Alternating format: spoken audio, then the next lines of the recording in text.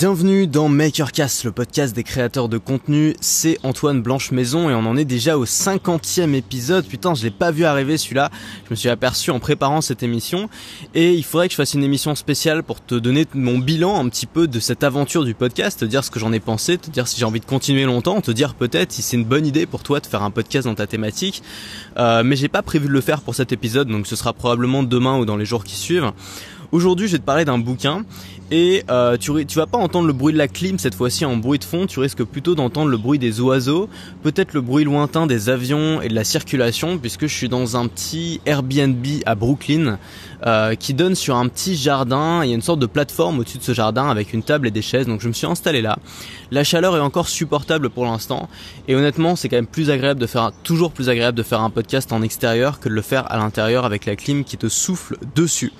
Et aujourd'hui, euh, je vais remettre le couvert sur le résumé de livres. Il y a quelques jours, je t'avais euh, résumé un bouquin. Aujourd'hui, je vais te résumer un autre bouquin qui s'appelle Hackers and Painters euh, de Paul Graham, qui est un bouquin en fait qui compare un petit peu les hackers, donc au sens de programmeurs informatiques, donc les bons bons programmeurs. En gros, c'est comme ça qu'est défini un hacker. Et les peintres du 15e siècle, notamment à Florence, ou en tout cas cette effervescence qu'on pouvait trouver, et trouve pas mal de points communs entre les deux. Et en fait, c'est un livre que j'ai acheté parce qu'on m'a dit que c'était un excellent livre sur les startups. Et moi, c'est un domaine qui m'intéresse et je trouve qu'on peut faire beaucoup de ponts entre les startups et euh, le domaine de la création de contenu et, euh, le fait de travailler en indépendant. Mais euh, en fait, ce que j'avais pas capté, c'est que les, deux tiers en fait du livre s'adressent uniquement aux programmeurs c'est-à-dire aux gens qui savent coder. moi, je sais absolument pas coder à part quelques vagues notions de CSS de, l'époque où j'avais un blog WordPress. c'est un monde qui m'est totalement étranger. Et en fait, ça m'a permis un petit peu de découvrir ce monde. Euh, mais en même temps, bon, ça m'a pas donné envie de devenir codeur. C'est un truc qui, qui je pense c'est pas forcément fait pour moi. J'ai toujours j'ai jamais vraiment aimé les maths et je pense que c'est un peu c'est plutôt pour les gens qui aiment les maths. Je suis pas sûr de ça, mais je pense. Mais par contre, il y a pas mal de points communs entre euh, les hackers et les makers. Et donc j'ai décidé de faire un podcast qui s'appelait non pas Hackers and Painters, mais Makers and Painters, pour voir un peu ce qu'on pouvait tirer de ce livre pour nous les créateurs de contenu. Et tu vas voir qu'il y a énormément de points communs. Et c'est toujours très intéressant d'aller chercher dans des thématiques qui ont rien à voir, des conseils qu'on peut appliquer à son propre domaine de compétences. Alors c'est un bouquin en fait qui est un peu... Euh, si tu lis ce bouquin, tu vas être étonné par plusieurs euh, aspects. Déjà, tu as des vrais éclairs de génie à l'intérieur, des choses où tu te dis putain mais c'est tellement vrai, personne l'avait jamais dit mais c'est tellement vrai. Et puis d'un autre côté, tu vas te sentir perdu parce que il y a, aucun plan, il y a aucune logique. Genre c'est un, un essai, je pense plus qu'un bouquin. Euh, ça va un peu dans tous les sens. Il parle plusieurs fois du même sujet mais à des moments très différents du bouquin. Euh, parfois, il entre super hardcore dans le coding et dans le contenu pour les programmeurs. Et ça, j'ai été obligé de zapper les pages parce que j'y comprenais rien. Euh, c'est un bouquin qui a été écrit en 2008 et donc il y a pas mal de choses qui pourraient sembler datées et en fait c'est vraiment d'actualité aujourd'hui, on va voir pourquoi. Donc euh, je vais essayer de reproduire un peu le bouquin tel qu'il était, c'est-à-dire bordélique. Donc ce podcast sera bordélique, je préfère te prévenir.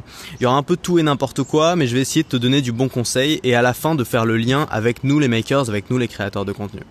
D'abord, euh, l'auteur parle beaucoup, donc Paul Graham parle beaucoup de liberté et d'anticonformiste, et pour lui, un, make, un hacker, donc un bon programmeur, est quelqu'un qui a toujours ce besoin de liberté et cet anticonformisme. Et il prend l'exemple des nerds à l'école, c'est donc les geeks, le, club un peu des geeks à l'école. On a tous connu ces gens-là. Peut-être que t'en faisais partie, peut-être pas. Peu importe.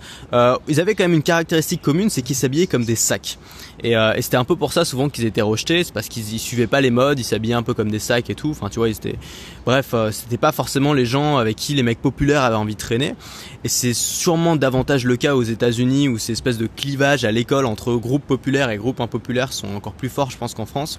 Et donc il en parle et il dit voilà, les nerds étaient impopulaires à l'école et c'est pour une seule raison, c'est que ils ne se souciaient pas d'être populaires parce qu'ils avaient d'autres passions dans la vie. Ils étaient passionnés par plein de choses. En fait, un nerd, c'est quelqu'un de passionné, si tu veux. Un geek, c'est quelqu'un de passionné. Ça peut être par l'informatique, ça peut être par autre chose. Euh, mais voilà, il se soucie pas d'être populaire, il se soucie pas d'être bien habillé. Donc forcément, il va se faire taper dessus par les mecs populaires, il va se faire rejeter. Mais il dit un peu qu'il y a une sorte de revanche des nerds qui reviennent en force. Et c'est vrai qu'aujourd'hui, bah, on le voit, c'est un peu, euh, c'est presque à la mode finalement. On voit tous les grands créateurs de start-up ou les mecs les plus riches du monde, bah, c'était des geeks en fait. Et donc on s'aperçoit que finalement, ils prennent un peu leur revanche sur tous les bullies qui, euh, qui, qui les faisaient chier à l'école. Et, euh, et, il fait notamment un peu une croisade contre l'école. Pour lui, l'école, c'est vraiment une prison. Il emploie ce, ce terme-là. Il dit que c'est un endroit vide et ennuyant, euh, que c'est pas la place euh, pour un enfant, c'est un endroit assez traumatisant pour un enfant, et que c'est la raison pour laquelle autant d'adolescents sont malheureux. Et que toutes les causes qu'on essaie de trouver aux problèmes qu'on peut avoir quand on est adolescent, c'est-à-dire les hormones, euh, la drogue ou ces choses-là, euh, bah, au lieu de se poser, au lieu de se dire bon bah c'est, on peut rien y faire, c'est les hormones ou c'est les ravages de la drogue, bah, on pourrait se poser la question pourquoi est-ce qu'il a besoin de d'avoir cette confrontation avec nous, pourquoi est-ce qu'il a besoin de prendre ces drogues, et peut-être que si on creusait un peu, on s'apercevrait que c'est à cause de l'école notamment euh, qu'autant d'adolescents sont malheureux et à cause du vide qu'il y a à l'école euh, et, de l'ennui qu'on peut euh, approfondir à l'école. Donc on peut on peut voir quand même que l'auteur a pas été fan fana fana de l'école et c'est quelque chose où j'ai pas non plus été fana fana donc ça a pas mal fait écho avec moi même si je serais moins peut-être moins sévère que lui. Ensuite il parle de design et je vais te citer un, un, truc que j'ai surligné en anglais je vais essayer de te le traduire en temps réel euh, la façon de créer quelque chose de beau est souvent de faire des petits changements à quelque chose qui existe déjà, ou alors de combiner des idées d'une nouvelle, d'une légère nouvelle façon. Euh, cette sorte de travail est difficile euh, à, écrire dans une recherche papier. Donc en fait, ce qu'il explique, c'est que bah, très souvent le design, c'est pas quelque chose vraiment qui, qui s'explique ou qui se note ou qui se planifie. C'est quelque chose qui vient assez naturellement. Euh, ensuite, il t'explique qu'il y a plusieurs euh, mesures pour déterminer ce que c'est qu'un bon design. La première mesure, c'est le temps, c'est-à-dire un bon design qui dure, c'est euh, un bon signe pour, pour dire que c'est un bon design. Et puis, on construit, ensuite il explique aussi qu'on construit un programme en l'écrivant. C'est-à-dire que c'est très difficile de planifier comment va être ton programme informatique, par exemple si tu veux construire un programme, si tu veux écrire un programme informatique, sans l'écrire en même temps. Et il t'explique que c'est un peu comme les peintres, finalement, les peintres qui font une ébauche avant de faire leur tableau, ils ont besoin de le dessiner pour le concevoir, ou alors les architectes qui font un plan avant euh, de designer leur maison parce qu'ils ont besoin de le dessiner, ils ont besoin de l'avoir, ils ont besoin de le faire en fait pour le comprendre. Et je pense que c'est un peu pareil pour les créateurs de contenu. Souvent on a besoin de, de, de créer du contenu pour comprendre ce que c'est que la création de contenu. Et très souvent quand on veut parler de quelque chose, bah on a besoin, euh, en fait ça vient en parlant. Et c'est pour ça que moi je déconseille de tout écrire. Souvent on, on commence moi, ma première erreur, ça a été de faire mes premières vidéos avec un prompteur, mais c'était catastrophique. Tu vois, le prompteur, c'est la pire erreur. Et en fait, je me rends compte que moins t'en notes sur ta feuille, plus c'est facile d'improviser et plus t'auras d'inspiration, parce que c'est souvent en créant du contenu que l'inspiration vient. Ensuite, il parle de l'anticonformiste. Alors, il dit quelque chose de très fort qui a vraiment fait écho avec moi. Il dit qu'il y a pas mal de domaines euh, dans lesquels euh, on les anticonformistes, donc les hackers, si on considère que les hackers sont des anticonformistes, vont remettre en cause la pensée majoritaire. Mais qu'il y a plein de domaines dans lesquels on n'a pas le droit de le faire et qu'on va étiqueter tous les gens qui vont essayer de faire ça. Alors il donne pas d'exemple concret, je suppose qu'il a pas envie de prendre trop de risques vis-à-vis de ça, mais il dit que voilà, il y a plein de domaines dans lesquels euh, on n'a pas le droit finalement de remettre en cause la pensée majoritaire. Euh, il y a une sorte de morale populaire qui t'impose, qui t'interdit de le faire, et c'est très difficile à supporter pour les anticonformistes qui sont nés finalement dans cette pensée-là et qui ont parce que c'est leur nature, de trouver, de, trouver ce qui va pas en fait, de chercher les bugs et de dire mais on a toujours dit ça, mais est-ce que finalement c'est vraiment vrai? Est-ce que c'est vrai? Est-ce que finalement on peut pas élaborer autre chose? Et le fait de pas avoir le droit de le faire, ça peut être assez douloureux pour un anticonformiste. Ensuite j'ai surligné un truc que je vais traduire pareil à la volée, donc ça risque d'être un peu bancal. Euh, les, euh, les, annonces euh, que font les gens énervés enfin plutôt les choses que disent les gens énervés sont souvent les choses euh, dont ils sont inquiets qui pourraient non alors en fait je vais pas réussir à le faire hein. je vais vraiment pas réussir à le traduire c'est super compliqué à traduire en gros il explique que euh, quand tu dis quelque chose qui met, qui met quelqu'un très en colère il y a de fortes chances que cette chose soit vraie et justement, ces choses-là qu'on n'a pas le droit de dire, qui sont en gros politiquement incorrectes, la raison pour laquelle ça met autant de gens en colère, c'est qu'il y a peut-être une part de vérité derrière. Et c'est très intéressant, je trouve. Et très souvent, bah justement, ces gens-là qui vont oser dire ces choses-là qui sont politiquement incorrectes, bah on va directement leur donner un label euh, pour les décrédibiliser.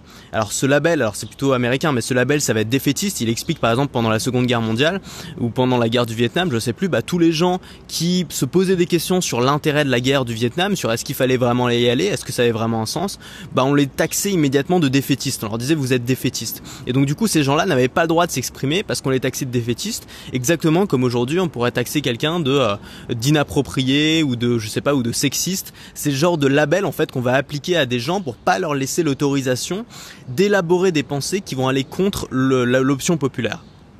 Et donc il dit qu'il faut faire attention à ces labels-là et qu'il y a une solution finalement, euh, bah, c'est de, de, taxer eux-mêmes les gens qui donnent ces labels et que ces, ces, solutions commencent à apparaître. Par exemple, le mot, rien que le terme politiquement correct, est un terme qui vise à désigner les gens qui donnent un label à tous les autres. Et, euh, et c'est une façon finalement de se défendre, c'est d'utiliser ces mêmes armes, donc donner un label à ces gens-là. Et il explique que les questions sociales, alors ça aussi ça peut être très très très controversé comme opinion, mais c'est vraiment intéressant je trouve.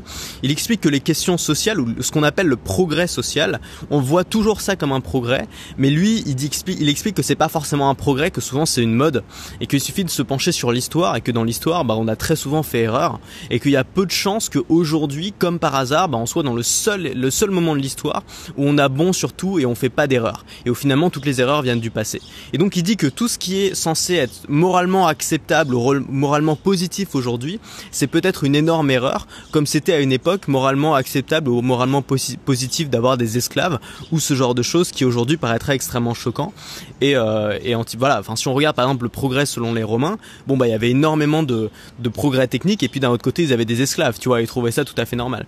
Et en fait c'est très intéressant de regarder l'histoire et de se dire qu'on s'est tellement trompé dans l'histoire qu'on se trompe forcément aussi aujourd'hui sur certains points et qu'on devrait peut-être mettre moins d'aplomb à affirmer des vérités ou à, ou essayer d'imposer notre morale. Et il explique qu'il y a une façon de savoir en fait si quelque chose est vraiment un tabou, si quelque chose est vraiment moralement inacceptable, c'est de regarder si regarder les autres cultures en fait et de regarder si c'est un tabou qui est à peu près universel, si dans 95% des cultures c'est quelque chose de moralement inacceptable. Par exemple le meurtre. Le meurtre est moralement euh, condamné dans quasiment toutes les cultures, pas toutes mais quasiment toutes les cultures. Donc on peut à peu près être sûr que c'est quelque chose de moralement inacceptable. Par contre, il y a d'autres choses qui sont un peu nouvelles, qui sont un peu propres à notre culture occidentale. Et là-dessus, on pourrait se poser des questions parce qu'on se rend compte que bah, on ne partage pas avec toutes les cultures. Et donc, c'est assez facile de juger les autres cultures et de penser qu'on est les meilleurs. Mais on pourrait aussi se mettre, se remettre un peu en cause de temps en temps. Et ça, je trouve ça très vrai, je trouve ça très très courageux de sa part de le dire parce que c'est des choses qu'on pense. Moi, je pense tu le penses. Moi, je le pense aussi pour certaines choses. Et c'est vrai qu'on se sent interdit d'en parler.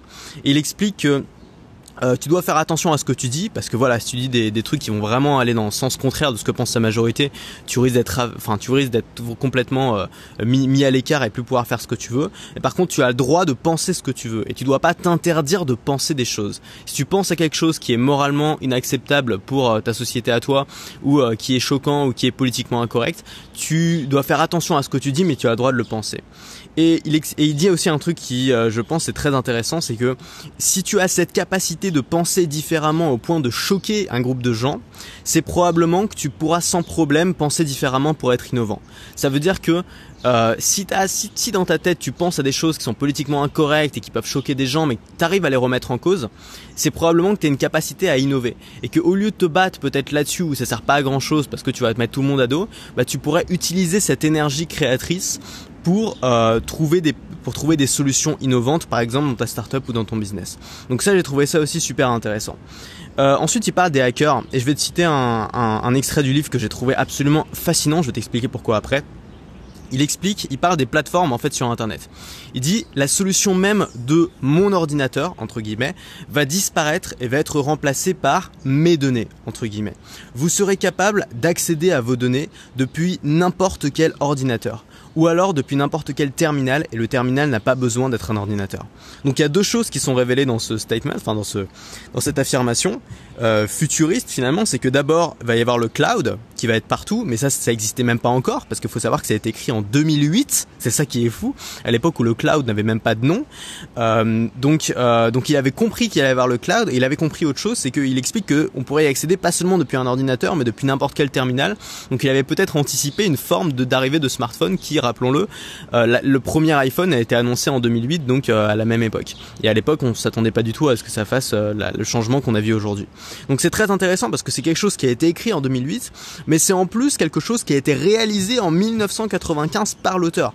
C'est-à-dire que Paul Graham, il s'est fait connaître notamment en revendant une société qui s'appelait ViaWeb à Yahoo. Et cette société, c'était une plateforme sur Internet qui permettait de créer des sites web sans quitter son navigateur. Exactement comme aujourd'hui le font bah, quasiment toutes les plateformes de sites Internet. C'est-à-dire, je sais pas, euh, Wix, euh, WordPress, euh, Weebly, je sais pas, Squarespace et compagnie. Et ben, lui, il l'avait fait à l'époque où personne faisait ça, où personne pouvait même comprendre qu'on pouvait créer un logiciel autre part que hébergé sur un ordinateur. Il l'avait anticipé et ça, il l'a fait en 1995. Donc c'est assez fascinant de voir à quel point il avait anticipé quelque chose qui est devenu totalement courant aujourd'hui, mais qui n'était pas du tout à l'époque. Et je trouve que ça donne une grosse crédibilité à, l'auteur. Euh, et donc on a envie ensuite évidemment d'écouter ses conseils pour le futur. Ensuite, il explique que le support client, alors ça c'est aussi vraiment un conseil précieux pour les créateurs de contenu, euh, le support client doit toujours être en contact avec les programmeurs. Ça veut dire que quand, quand tu crées un logiciel et que tu te mets en ligne, tu vas avoir des gens qui vont remonter l'information vers toi et cette information, il faut immédiatement le donner à ceux qui designent le programme pour qu'ils puissent l'intégrer parce qu'il faut pas oublier qu'un programme est toujours fait au final pour des humains et pas pour les programmeurs en tant que tels. Et de la même façon, toi, quand tu crées du contenu, c'est bien de faire du contenu qui te plaît toi, mais c'est important de faire du contenu qui plaît à ton audience. Et l'idée, c'est de trouver le point entre les deux, un contenu qui à la fois te passionne et qui en même temps plaît à ton audience. Et toujours essayer de l'adapter à ton audience en étant en contact avec ton audience grâce notamment aux commentaires. Alors moi les commentaires j'en ai ras le bol, j'ai supprimé mais je fais autre chose à la place. Tu vois, ça peut être les commentaires, ça peut être les rencontres abonnés, ça j'en fais souvent, les dîners avec les abonnés, euh, le, forum aussi que j'ai mis en place. Bref, des choses qui vont te permettre d'être toujours en contact avec les problèmes de tes utilisateurs pour pouvoir améliorer ton service. Ensuite, il t'explique de manière extrêmement simple euh, deux choses à savoir sur le business euh, pour créer un pour créer un business et réussir dedans.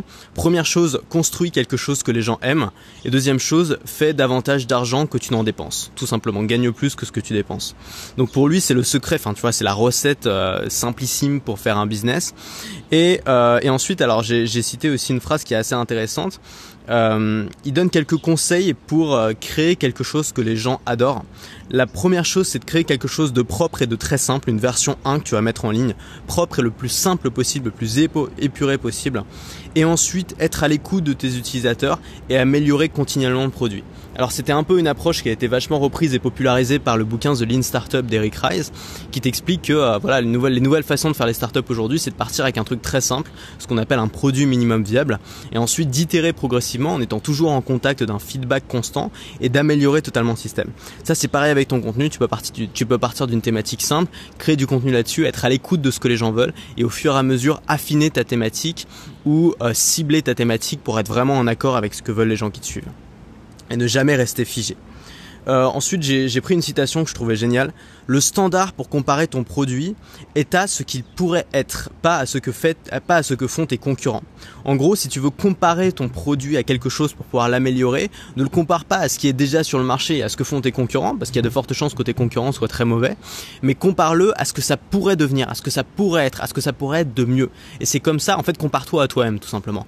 Et ça, c'est tellement vrai dans le domaine de la création de contenu. On a tendance à regarder ce que font les autres, à dire ah ouais, lui il fait ça, c'est bien et tout, et à essayer de faire comme les autres, et à final devenir un copycat, alors que on pourrait imaginer ce qu'on pourrait faire de mieux, comment on pourrait améliorer qui on est et quel contenu on crée, et essayer de pousser le truc jusqu'au bout sans essayer de suivre la mode ou de suivre les tendances. Et c'est souvent ces gens-là qui font le meilleur contenu. Ensuite, il explique, alors il parle d'argent aussi, ça c'est très vrai, ça fait vraiment du bien d'entendre des gens qui disent ça, parce que tu sais, quand on parle d'argent, bah, toujours des gens qui choquent, qui disent ouais, l'argent c'est mal, machin, euh, il y a tellement, enfin tu sais, il y a des gens qui sortent toujours la même phrase, c'est il n'y a jamais eu autant d'inégalités dans le monde euh, qu'auparavant. Et les gens en fait justifient tout, justifient que l'argent c'est mal, justifient que les riches c'est tous des connards, juste avec cette phrase qui est vraie, c'est qu'il n'y a jamais eu autant d'inégalités euh, dans le monde qu'avant en termes d'argent. Sauf qu'en fait ce que t'explique l'auteur, c'est que l'argent c'est pas, ça ne vaut rien en tant que tel. C'est-à-dire qu'un billet ou des pièces, ça n'a pas de, tu vois, ça t'apporte rien en tant que, en termes de valeur. C'est-à-dire, c'est juste du, un, instrument de mesure et un instrument d'échange, un instrument qui sert à faciliter les échanges. Il dit que ce qu'il y a en bout de course, c'est pas des pièces, c'est pas des bouts de papier et des bouts de métaux. Ce qu'il y a en bout de course, c'est de la valeur. La valeur, c'est quoi? Alors, ce que lui appelle wealth, tu vois, donc on pourrait appeler ça le confort ou l'aisance. Enfin, ça se traduit pas vraiment en français, mais on pourrait appeler ça le confort, si tu veux. Le confort qu'on peut avoir aujourd'hui, c'est d'avoir d'avoir un toit au-dessus de nos têtes, c'est d'avoir de quoi bouffer, c'est d'avoir euh, un canapé, c'est d'avoir une télé, c'est ce genre de confort, c'est d'avoir une connexion à internet, ce genre de confort dont on parle. Et si on veut parler d'inégalité en termes d'argent, oui, elles ont jamais été aussi importantes qu'aujourd'hui, mais en termes de confort, elles ont jamais été aussi faibles. Et ce que t'explique Paul Graham, c'est vrai, je suis 100% d'accord avec lui, il suffit de regarder les études, c'est que finalement, on n'arrête pas de dire que l'argent c'est mal et tout, mais au final, il n'y a jamais eu aussi peu, il n'y a jamais eu autant de gens qui ont eu de quoi bouffer. Avant, il y avait beaucoup plus de gens qui mouraient de faim. Il n'y a jamais eu autant de gens qui ont eu accès aux soins. Il n'y a jamais eu autant de gens euh, qui ont eu euh, un toit sur la tête. Et c'est des choses qui n'existaient pas avant. Donc finalement, euh, ce que fait une entreprise, c'est pas faire de l'argent. Ce que fait un business, c'est pas faire de l'argent. Ce que fait un business, c'est faire de la valeur. Et l'argent est simplement un instrument de mesure de cette valeur. Mais finalement, c'est pas parce qu'un business, on a tendance à penser que l'argent c'est comme un gâteau et que parce qu'un business fait beaucoup d'argent, bah on a moins de ce gâteau, il reste moins de ce gâteau. Mais c'est parce qu'on compare l'argent comme un gâteau. Et l'argent c'est pas un gâteau puisque l'argent sert à créer de la valeur. Un business crée de la valeur, par exemple, je sais pas, on, a créé l'ordinateur personnel, ça fait que tout le monde aujourd'hui peut se connecter à internet ou presque, euh, pas tout le monde, tu vois, mais par exemple en France, bon quasiment tout le monde a un ordinateur ou un smartphone pour pouvoir se connecter à internet. Eh bien euh, c'est quelque chose qui n'existait pas avant, c'est une valeur qui a été créée. Et cette valeur, elle a pu être créée grâce à l'argent. Mais c'est quelque chose qu'on a en plus, c'est pas quelque chose qu'on a perdu, c'est pas quelque chose qu'on a donné à quelqu'un, c'est quelque chose qu'on a en plus. Donc c'est assez compliqué, enfin moi je l'ai pas compris tout de suite en lisant, j'ai dû le lire plusieurs fois, puis ensuite j'ai compris, je me suis dit mais oui c'est évident, c'est qu'un business apporte de la valeur, et donc plus il y a de business, plus il y a de concurrents, ça veut pas dire qu'il y a moins d'argent, ça veut dire qu'il y a plus de valeur, et que finalement le bien-être et le confort pour tout le monde est en augmentation. Donc finalement dire qu'il n'y a jamais eu autant d'inégalités aujourd'hui, c'est complètement absurde et aberrant parce qu'on parle uniquement d'un instrument de mesure. Mais on parle pas du, des trucs qui sont vraiment importants en bout de course, c'est-à-dire le bien-être, le confort, l'accès aux soins, l'accès à la nourriture qui finalement n'ont jamais été aussi abondants. Et, euh, et, il va plus loin là-dessus. Il t'explique aussi que euh, ça c'est vrai aussi que euh, euh, quelqu'un qui gagne plus, finalement, il n'y a rien de choquant à faire quelqu'un qui gagne plus. Quelqu'un qui gagne plus, c'est simplement quelqu'un qui apporte plus de valeur que les autres, puisque l'argent est un instrument de mesure de la valeur. Donc finalement, un footballeur qui est payé mille fois plus qu'un un salarié classique, tu vois, dans un bureau, ça veut pas dire que sa valeur en tant qu'être humain est dix fois supérieure. Ça veut dire que sa valeur commerciale, en termes d'argent qu'il peut rapporter à son club, est en effet mille fois supérieure à ce que peut rapporter un petit salarié. Exactement comme celle d'un chef d'entreprise est supérieure à celle d'un salarié en bout de course, simplement parce que le chef d'entreprise a plus de responsabilités et qu'il est plus difficile à remplacer. Donc une fois que tu as compris ça, bah on arrête de choquer pour tout et pour rien. On arrête de choquer parce que un tel gagne plus d'argent que nous. On arrête de choquer parce que euh, parce que telles personnes sont plus riches que nous. Et on comprend que on s'en fout en fait. Parce que au final si on est tous si notre confort à tous s'est amélioré bah c'est ça c'est ça l'intérêt. C'est ça le c'est ça finalement ce qu'on recherche au final. Je sais pas comment t'expliquer. Peut-être que ce sera mal passé mais euh, mais enfin moi ça m'a vraiment foutu une claque de lire ça. C'est quelque chose que j'avais déjà dans un coin de la tête. Mais il a mis des mots dessus. Il a rendu plus simple à comprendre et peut-être à expliquer il explique aussi que si on cherche un job sécurisé, on ne deviendra pas riche. Euh, c'est pas en cherchant la sécurité qu'on devient riche, au contraire, c'est en cherchant, le risque. Ensuite, il parle de start-up. Il dit qu'une start-up c'est un petit groupe qui travaille sur un problème difficile. Si tu veux fonder une start-up, tu rassembles un petit groupe et tu travailles sur un problème difficile. Une start-up peut pas être constituée d'une seule personne. Pour lui, c'est voué à l'échec, sauf certains types de start-up, comme par exemple euh, les écrivains. Faut savoir que ça a été écrit en 2008 et on peut considérer qu'aujourd'hui, bah, les créateurs de contenu c'est un peu comme les écrivains à l'époque, c'est-à-dire c'est forme de start-up que tu peux faire tout seul si tu travailles mieux seul. Moi personnellement, j'ai essayé déjà plusieurs fois de travailler à plusieurs. Je peux te dire et je peux t'assurer que je travaille mieux seul et que j'ai plus de résultats quand je suis seul. Euh, maintenant, pour une start-up qui travaille sur un problème, c'est peut-être différent. Euh, ça, j'en sais rien. C'est peut-être plus pratique d'avoir différentes personnes qui sont chacune spécialisées dans un domaine. Euh, pourquoi travailler sur un problème difficile et pourquoi chercher toujours la difficulté? Parce que ça permet de creuser le fossé avec la concurrence. Et il compare la start-up à un moustique qui dit que le moustique est une bête qui est designée pour attaquer, qui est designée pour piquer, qui se concentre tout sur l'attaque et rien sur la défense. On sait tous qu'un moustique c'est hyper faible, ça vole un peu n'importe comment, tu peux l'écraser en deux secondes avec tes mains, c'est pas très compliqué à tuer. Bon alors parfois c'est un petit peu chiant quand tu passes la moitié de ta nuit avec ton chausson à chercher le moustique, mais une fois que tu l'as trouvé, bon bah t'as pas besoin de lui taper dessus pendant une demi-heure comme un cafard pour le tuer, ça se tue assez facilement. Donc un moustique concentre tout sur l'attaque et rien sur la défense. Il explique que c'est pareil pour une startup. Une startup est extrêmement fragile. Une startup peut mourir en un instant, mais une startup est aussi extrêmement violente et extrêmement puissante. Et justement, c'est sur ces problèmes difficiles qu'une startup peut faire la différence avec une grosse entreprise qui a tous ces process qui vont la ralentir. Ensuite, il va parler d'argent et de valeur. Donc justement, ça je t'en ai parlé. Euh, je vais traduire exactement la citation. Euh, c'est tu es payé par euh, pour faire ou pour créer quelque chose que les gens veulent et ceux qui font plus d'argent sont simplement euh, ceux qui s'en sortent mieux à créer quelque chose que les gens veulent. C'est aussi simple que ça. Donc il explique que ceux qui font plus d'argent, c'est pas une question de justice ou d'injustice ou de mérite, ça a rien à faire là-dedans. En fait, tu vois, on n'est pas payé au mérite. Si on était payé au mérite, bah ce seraient les gens les plus gentils ou les gens qui travaillent le plus euh, qui seraient payés le plus. Et c'est pas comme ça. L'argent est juste un indicateur de la valeur. Et donc finalement, c'est un indicateur de faire ce que veulent les gens. Donc si tu arrives à faire davantage de ce que veulent les gens, bah tu feras plus d'argent et c'est aussi simple que ça. Ensuite, il donne les caractéristiques d'un bon design Alors il sort une liste de 50 euh, termes. Euh, je, te, je, te, les passe assez rapidement parce qu'on a beaucoup. Alors un bon design, c'est pas vraiment, ça peut être compris au sens de euh, de design graphique, esthétique. Ça peut être aussi compris au sens de conception. Tu as designer un produit, c'est pas seulement faire les courbes et les dessins, c'est aussi la conception, comment est et comment est conçu le produit. Finalement, le design est au centre. Il explique qu'un bon design, c'est d'abord un design qui est simple. Less is more. Essayer d'épurer au maximum, de supprimer toutes les fioritures, de la même manière qu'un bon roman, c'est un roman où tu dis juste l'essentiel, où t'es pas en train d'étaler tout ce que tu dis avec 50 000, euh, avec 50 000 mots-clés euh, super chiants. Ensuite, un bon design est intemporel, c'est-à-dire qu'il est là pour durer, qui suit pas une mode. Un bon design résout le bon problème. Un bon design est subjectif et subjectif pardon. Suggestif. Putain j'ai du mal. Un bon design est suggestif ça veut dire qu'il est évident que les gens comprennent immédiatement comment on l'utilise un bon design est légèrement amusant. Il donne des exemples de voitures anciennes qui ont des tu vois avec leurs phares et tout qui ont un, côté un petit peu amusant un côté un petit peu sympa. Euh, un bon design est difficile. Pour lui euh, c'est toujours difficile de créer un bon design c'est ce qui c'est ce un élément qui traduit un bon design. Mais un bon design semble facile. C'est à dire qu'une fois que le client et en contact avec, bah, ça lui semble facile, ça lui semble évident. Un bon design est symétrique ou est inspiré par la nature. Un bon design est un redesign de quelque chose qui existe déjà, pas quelque chose qui part de zéro. Un bon design est parfois un peu étrange un bon design euh, se passe en morceaux. Alors j'ai traduit ça hyper mal, mais en gros se passe par blocs. Euh, par exemple, au 15e siècle à Florence, il y a eu euh, un. il parle des peintures justement au 15e siècle à Florence. Il y a eu une, effervescence énorme de d'innovation au même moment et dit que le bon design souvent se passe par blocs comme ça de, de périodes et d'endroits.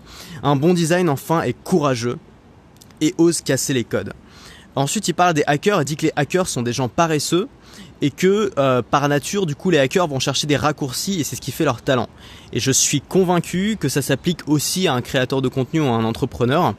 Euh, moi, je me considère comme quelqu'un d'assez paresseux et c'est pour ça que j'ai essayé de simplifier au maximum mon business, d'automatiser un maximum de choses et de rester, de garder toujours les choses simples parce que j'ai pas envie de me prendre la tête. Ensuite, alors je dis pas que c'est la meilleure solution, juste c'est ma solution à moi et je me reconnais là-dedans. Ensuite, il explique quelque chose qui est très important que j'ai surligné en rouge. Quand tu inventes quelque chose, tu dois répéter ton message jusqu'à ce que les gens l'intègrent. Et dit que souvent, quand on invente quelque chose qu'on considère comme génial, on pense qu'on va le dire une fois aux gens et que tout le monde va trouver ça génial et que c'est bon, sera rentré dans les mœurs. Et en fait, il explique que c'est pas du tout le cas, qu'il faut souvent répéter son message des dizaines et des dizaines de fois avant que les gens l'intègrent. Et ça, c'est tellement vrai dans le domaine de la création de contenu euh, c'est que bah, souvent les gens ils écoutent ce que tu dis, ouais ouais c'est intéressant, puis ils passent pas à l'action, ils l'appliquent pas, ils repoussent le lendemain. Et souvent c'est pas la première fois qu'ils vont l'entendre qu'ils vont passer à l'action, c'est souvent la deuxième, la troisième ou la cinquième fois. Et il explique que les gens commencent à vraiment euh, à vraiment t'écouter quand ils remarquent, non pas quand ils te découvrent pour la première fois, mais quand ils remarquent que tu es toujours là.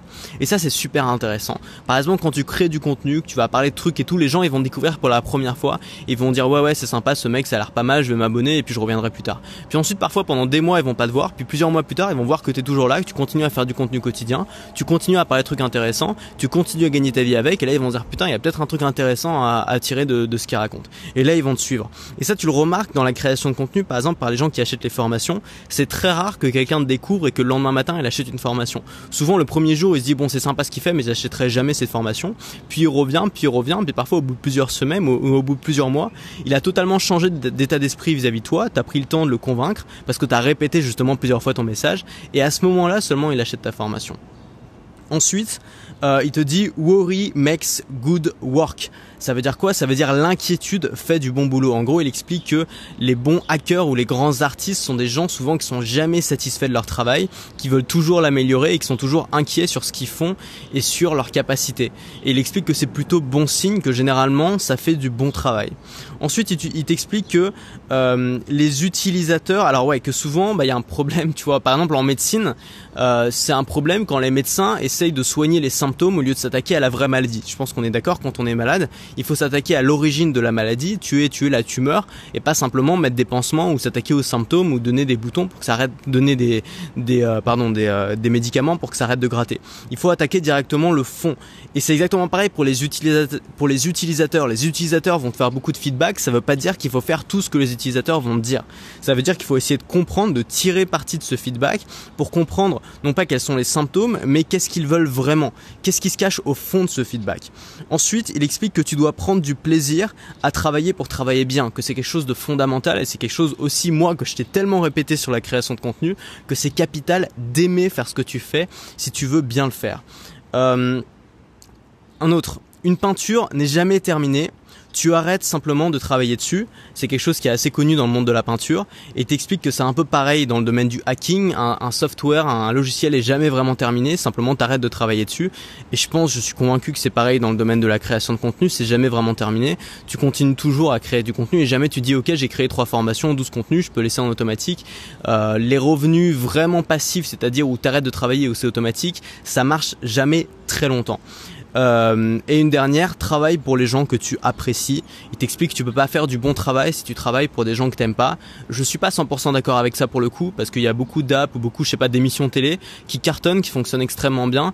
Euh, et ça m'étonnerait que les mecs super intelligents qui soient, euh, qui ont compris que ces programmes allaient marcher, sont des vrais consommateurs de ce programme. Je suis pas sûr de ça. Peut-être que je me trompe, mais je pense que tu peux faire du bon boulot pour des gens que t'aimes pas ou pour des gens que tu respectes pas. Simplement, c'est pas ce qu'il dit. Lui dit qu'il vaut mieux travailler pour des gens que tu apprécies. Et je pense qu'en tout cas, quand en tant que plaisir que tu prends au travail, oui, il vaut mieux travailler pour des gens que tu apprécies, surtout dans le domaine de la création de contenu. Euh, maintenant, je voudrais faire un petit peu. Donc c'est ça, c'est tout ce que j'ai surligné un peu dans ce livre. Alors, je t'ai épargné les trois quarts qui te parlent uniquement de langage, de quels sont les meilleurs langages, quels sont les langages du futur, qu'est-ce qui fait un bon langage de code. Euh, parce que c'est juste pas mon domaine, donc je te laisse lire le livre si ça t'intéresse. Maintenant, je voudrais juste faire la comparaison dans un peu tout ce qu'on a dit, récapituler et le mettre en commun avec euh, qu'est-ce que nous on a besoin en tant que makers? Comment est-ce que les makers peuvent euh, peuvent tirer parti des conseils des hackers et des conseils des painters, des peintres. Alors d'abord, on a parlé de liberté d'anticonformiste. Je pense que c'est aussi au cœur de l'esprit du maker, de l'esprit de quelqu'un qui veut créer du contenu. Souvent, on part pour la bonne raison qu'on a envie de vivre de cette passion, qu'on a envie d'être autonome, qu'on a envie de faire ce qui nous plaît et pas d'écouter et pas de faire ce que les autres veulent. C'est pour ça que c'est un boulot qui est vraiment personnel. Et euh, l'anticonformisme est fondamental puisque euh, si on veut vraiment toucher les gens, il faut faire du différent. Il faut faire quelque chose que disent pas tous les autres. Ensuite, euh, le fait de s'intéresser à l'utilisateur, je pense que c'est tout aussi important pour les makers de s'intéresser à leur audience. Ensuite, le less is more, euh, la recherche toujours de la simplicité. Je pense que c'est très important aussi quand tu crées du contenu de toujours chercher la simplicité par souci de cohérence et en éliminant le superflu, en éliminant tout ce qui est de trop. De la même manière que quand tu relis un article, bah, tu supprimes tous les mots qui servent à rien et il reste que l'essentiel et l'article est beaucoup plus agréable à lire. L'amélioration continue, c'est aussi quelque chose qui est tellement vrai dans la création de contenu, c'est jamais terminé, c'est pour ça que moi je, je, propose de faire du contenu tous les jours et de pas se donner de date de fin, de pas se donner de date limite, de pas se dire à partir de tel moment j'arrêterai et de voir comment ça évolue et surtout de pas hésiter à changer de cap, de pas hésiter à se dire en plein milieu ok j'ai envie de changer de thématique, j'ai envie de d'affiner ma thématique, j'ai envie de toucher davantage ces gens-là et de le faire et pas de rester bloqué dans un truc qui ne nous plaît pas ou qui ne fonctionne pas. C'est la différence entre la persévérance et l'obstination, c'est que euh, la persévérance c'est continuer ce qu'on a démarré, continuer à y croire et continuer à travailler, à fournir des efforts pour avoir des résultats. L'obstination, c'est exactement tout ça, mais sans avoir de résultats. C'est-à-dire faire quelque chose qui ne marche pas et continuer coûte que coûte. Euh, L'idée, c'est de voir ce qui fonctionne, d'être à l'écoute de ton audience et d'affiner au fur et à mesure pour ajouter de ce qui fonctionne et pour enlever de ce qui fonctionne pas.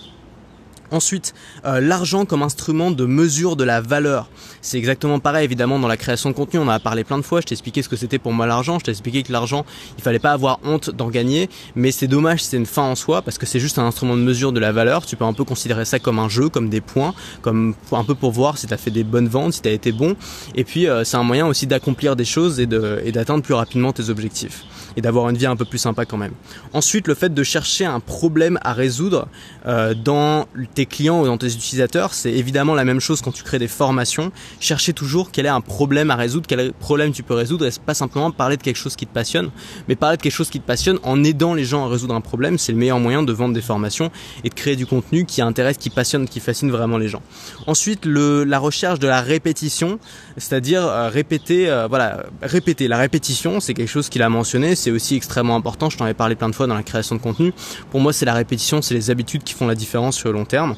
Et puis enfin, les deux dernières choses dont parlait le livre, la recherche du long terme, chercher quelque chose sur le long terme, sur la longue durée, et la recherche du plaisir dans ce qu'on fait pour pouvoir justement tenir sur le long terme et sur la longue durée. Ça aussi, je pense qu'on a besoin de revenir dessus. Je t'en avais parlé cent mille fois. Voilà, donc ce livre est vraiment super intéressant. Euh, je t'invite vraiment à le lire si ça t'intéresse, notamment si t'es programmeur. Tu vois. Même s'il date de 2008 et qu'il y a pas mal de choses qui sont un peu euh, un peu dépassées, euh, je pense qu'il y a des bonnes bases. c'est assez futuriste comme bouquin. Il y a plein de choses qui sont immuables et qui resteront vraies.